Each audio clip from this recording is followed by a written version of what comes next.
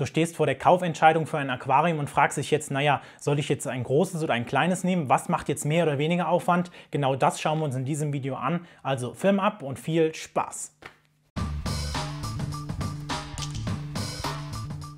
Hallo und herzlich willkommen zu diesem Video. Mein Name ist Timo und im heutigen Video schauen wir uns mal die Frage an, welches Becken, also ob groß oder klein, jetzt mehr oder weniger Aufwand macht.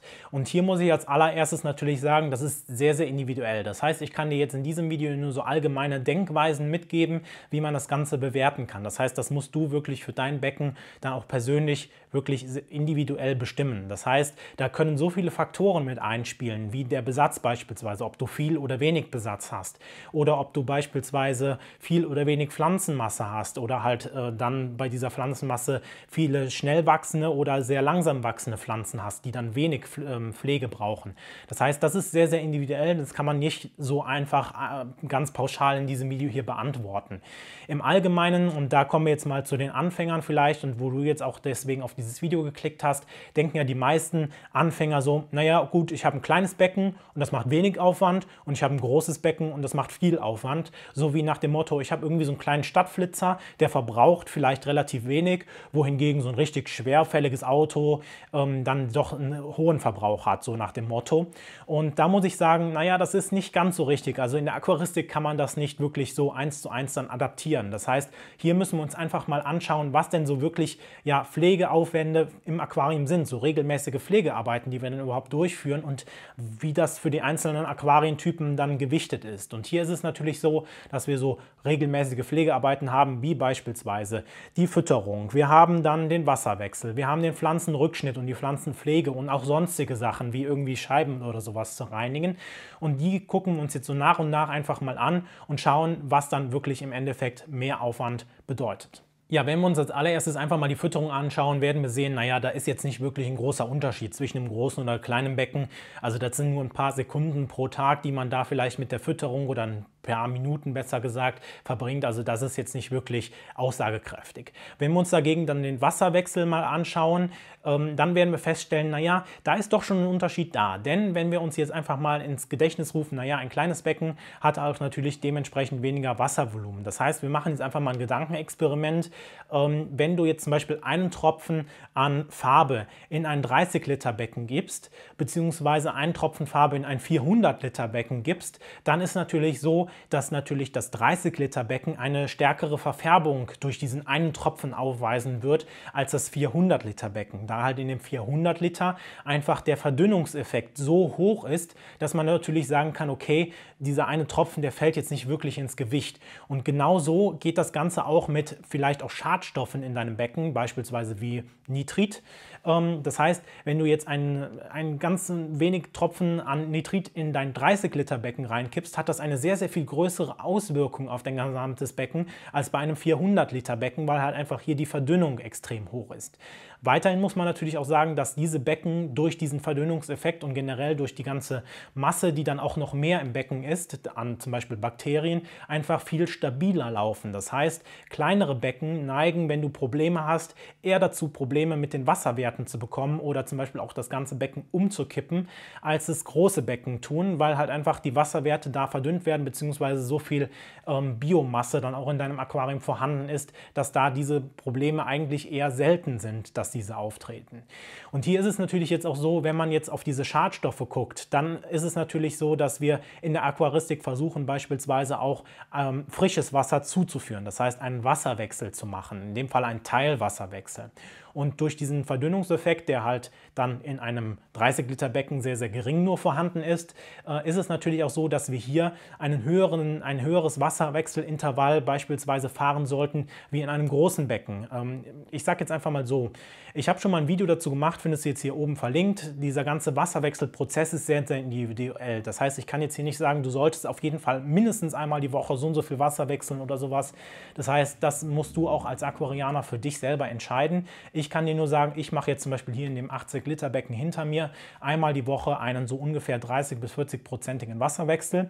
Hier ist es natürlich dann aber auch so, wenn ich jetzt zum Beispiel ein größeres Becken hätte, würde ich persönlich aus meiner eigenen Meinung heraus sagen, naja, ich brauche jetzt nicht wirklich ähm, 30 oder 40 Prozent pro Woche in meinem 400 Liter Becken zu wechseln, ähm, sondern würde sagen, okay, da kann ich die Standzeit einfach etwas ähm, erhöhen. Das heißt einfach zum Beispiel zu sagen, okay, ich wechsle das nur alle drei, zwei, drei Wochen beispielsweise. Das heißt, hier ist es natürlich so, dass in einem kleineren Becken ähm, mehr Wasser oder häufiger das Wasser gewechselt werden muss, wohingegen natürlich dann der, die Dauer für das Wasser wechseln, ne? weil wenn ich jetzt zum Beispiel in einem 30 Liter Becken versuche 50 Prozent Wasser zu wechseln, das sind ja, eineinhalb Eimer. Ne? Die kriegt man relativ schnell aus dem Becken raus. Wohingegen, wenn ich jetzt versuche, aus einem 400 Liter Becken die Hälfte an Wasser rauszuziehen, es natürlich auch so ist, dass man dann ja irgendwie versuchen müsste, 200 Liter aus dem Becken rauszubekommen. Das heißt, hier ist die Dauer dann natürlich höher, wobei das Intervall dann wahrscheinlich auch zurückgeht. Das heißt, das ähm, ja, ist so ein bisschen, hält sich so ein bisschen in der Waage. Wenn wir dann als nächsten Punkt uns anschauen, okay, die Pflanzen. Was ist denn mit Pflanzenpflege? Was ist mit Pflanzenrückschnitt? Da muss man natürlich auch sagen, naja, es kommt halt sehr, sehr stark auf deine Pflanzen an. Das heißt, ich kann dir jetzt halt nicht sagen, welches Becken mehr Arbeit verursacht. Du kannst natürlich in einem kleinen Becken schnell wachsende Pflanzen ähm, quasi pflegen. Das heißt, hier ist es natürlich so, dass gerade in diesem kleinen Becken, wo auch wenig Volumen drin ist, es sehr, sehr schnell auffällt, wenn Pflanzen anfangen, ähm, ja, zu wuchern, etwas größer zu werden. Das heißt, hier muss man häufiger zurückschneiden, wohingegen man zum Beispiel in einem größeren Becken mit schnell wachsenden Pflanzen, ich sage mal, nicht ganz so, äh, ganz so schnell ein Problem hat, weil man natürlich sehr, sehr viel mehr an Fläche zur Verfügung hat. Wohingegen man natürlich jetzt auch sagen muss, naja, ich sage jetzt einfach mal so, wenn man natürlich jetzt ein ähm, 400 Liter Becken mit dieser ganzen, mit dieser ganzen äh, Oberfläche nimmt und da beispielsweise die Hälfte nur an HCC unten an Bodendecker reinsetzt, der dann jede Woche geschnitten werden muss. Also ich würde das ungern machen, weil man einfach sehr, sehr viel Zeit braucht, das Ganze halt zu pflegen.